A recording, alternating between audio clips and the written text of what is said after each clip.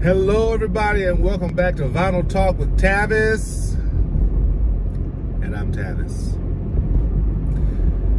It's the Soul Train. You all, did you all see the Soul Train Awards last night? Did you all see that? Lord, this is the only time I can talk about it is while I'm driving going to work this morning. I tell you what, that was a great show. It had its crazy moments, but all in all, it was a good show. But I'm here to really talk about um, Jimmy Jam and Terry Lewis. I don't know what's going on here. Jimmy Jam and Terry Lewis, that tribute was phenomenal. I loved every second of it. I hadn't seen Mary Davis in years singing live. Maybe I'm just behind and, and don't know and didn't know that she was still performing. Her voice, it just brought back everything. There's a guy, he has a YouTube channel. His name is Mike T. Mike, you said it all when you said this. You had to be there. In that time and space of music, in the late 70s, early 80s, mid 80s, late 80s, 90s, it just seems like the music was magical. And in the R&B spectrum of things, Jimmy Jam and Terry Lewis were a phenomenal couple of guys who had their music writing pen on the heart of African Americans. They knew exactly what we needed to dance, or just anybody. But for me, I'm thinking African Americans. The music that they wrote, they produced, it's just magical and mystical, like the sun shining on my face this morning. Forgive me, please forgive me. Um, when I saw Mary Davis come out, I jumped up out of my chair like a bunny rabbit coming out of a hole. I was like, whoa, Jesus, look at Mary Davis. Woo, Lord. Mm. And when I saw Cherrelle, okay, now let me, let me, let me tell you something, okay? Cherrelle, she looked good. Okay, that long hair that tight bodysuit. But Alexander, what's going on? what's going on? What's going on, Alexander? Child, I know we all getting old, okay? God help us. But I tell you what, no excuses. He could have had a better tight suit. What's, what's up with these loose fitting suits these days? Is that the style these days? All the guys are wearing loose fitting suits. They look like vagabonds. Okay, I could be wrong. I'm not the most stylish guy. Well, wait a minute, I am in some regard. But I'm sure that Alexander O'Neal's vocals were dubbed in. I think that his original vocals to Saturday Love, because when he started saying Sunday, Monday, Tuesday, I was like, who is that singing? That don't sound right. It sounded ridiculous, but I still liked it. I felt I felt joy. Sunday, Monday, Tuesday, Wednesday, Thursday, Friday, Saturday. I was like, who is that singing with Cherrelle? and then when Alexander's part came in, when I look at you, memories love, I heard Alexander's original vocals because when he would come in and sing with it, it didn't sound right. So he was trying to sing over his overdubs. I heard it. I have a very good ear.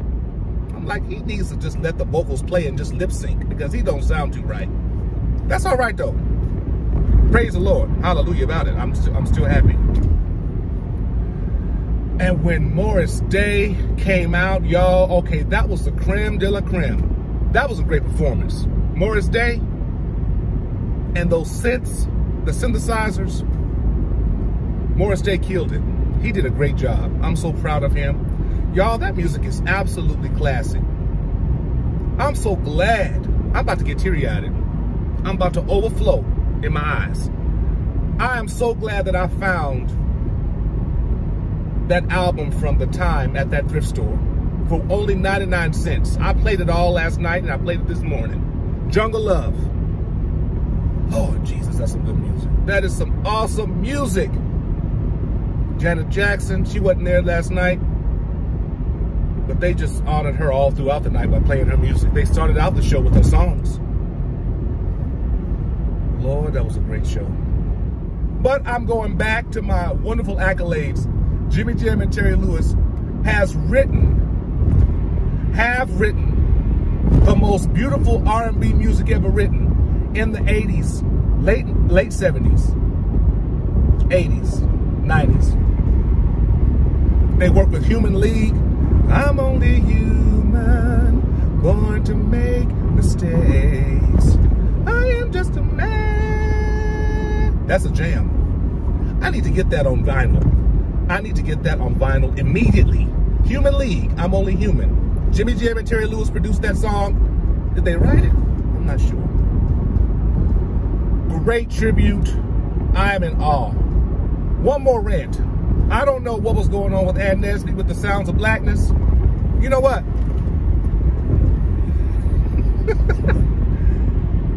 Leave it to us. Leave it to us to oversang other folks. Ann Nesby oversung, oversang all them soloists. Optimistic, singing optimistic. Ah, ah, ah, ah. Ann Nesby. Ann Nesby. You oversinging everybody? Just sing your part and go back into the shadows and come forward when it's time for you to sing. See, that's why groups break up. That's why groups break up because people like to oversing other people. They want to be in the limelight. We know, eh, we know, Ann, that you are the soloist leader. We know that. But you need to give other people time to shine. That those poor little girls singing at the beginning. When the midst of sorrow. That's a low sounding part. And then Ann Nesby. Ah, yeah! When the can. Ah, yeah! That was unnecessary. I, I'm, I'm telling you the truth. Unnecessary. But, honey, I got my Sounds of Blackness album and I was listening to it this morning again. you know what? These folks. You know what? I say that a lot. You know what? That was a great show. I'm glad that I watched it and I watched the YouTube clips. Watch the YouTube clips. You'll see what I'm talking about. Again, I'm so proud of Jimmy Jam and Terry Lewis. A an award long overdue. It should have been given years ago. But you know what? Everything has its time and season and purpose. And God is good all the time, and they deserve it. And I'm glad they are getting this award, the Legends Award, a Living Legends Award.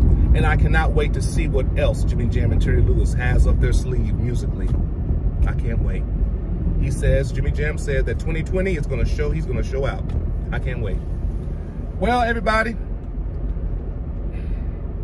other than Jimmy Jam's big suit and Nesby's soaring vocals over everybody else, the show was really good. But I just wanted to talk about that tribute. Jimmy Jam and Terry Lewis, I love you too. Wow.